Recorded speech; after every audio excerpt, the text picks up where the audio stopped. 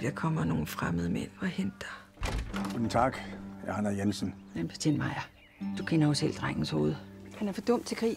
Nu er der brug for alle mand, unge som gamle, også Kalle Jensen.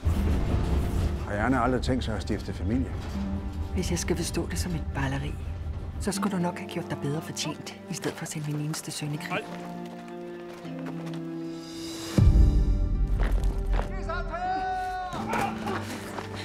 Jeg vil ikke dø for Tyskland. Vi bytter. Hvad hedder jeg? Rasmussen Julius Dam. Jawohl. Moin. Hvem er du? Din nevø. Hvad går det her ud på? Din nevø sagde, du kunne hjælpe mig. Maja.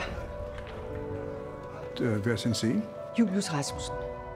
Nægte. Hvis du får kalde med hjem, så står min dør åben. Achtung!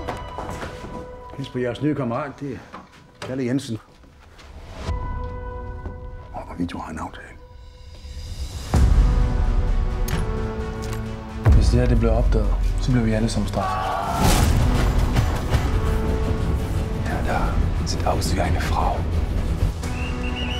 Alt, hvad du har tænkt og gjort, vil handle om Kalle. Jeg må passe på dig. Jeg ved, hvad jeg gør.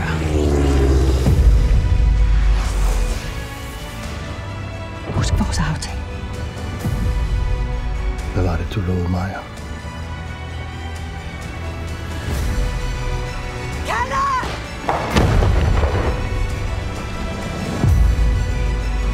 Vi er soldater.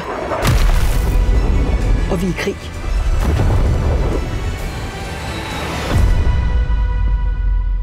Bare indtil jeg får kalde med hjem.